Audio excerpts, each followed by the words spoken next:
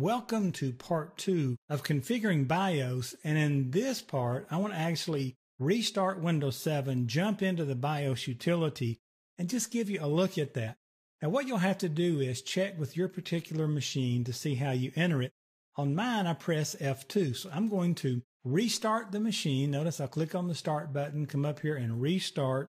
And I'm going to be ready when it starts to press F2.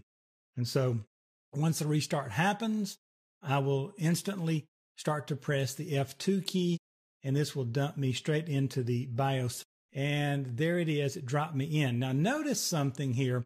This is going to be in 640 by 480 screen and I'm set to 1280 by 720. So it's going to look a little smaller. I hope you can see this.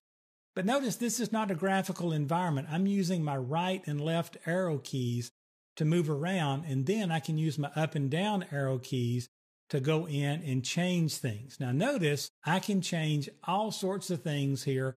My system time, my system date, legacy diskettes. Notice I can go to the right, go over to advanced, go to security.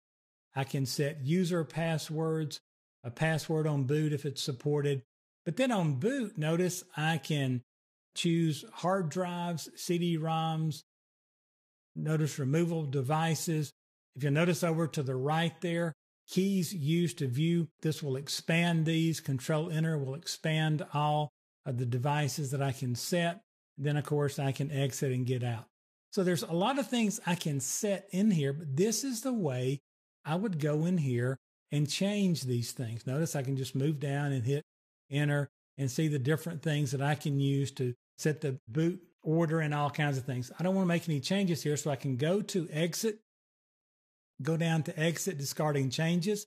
If I made changes, I would go down to exit saving changes, but I'll just choose exit discarding changes. And notice my computer then starts to boot up. Just like always, it's going to look a little different for you just for a moment here because of resolutions in a virtual environment. But that is how you go in and make changes to the BIOS. And keep in mind the changes we're making there, we're actually writing them out to CMOS and it's going to use that to later boot up using BIOS and get my computer up and running successfully. So that's just a real quick look at how you can get in to the BIOS utility to make those CMOS changes to actually change the way BIOS creates the environment that you see when you work with your computer.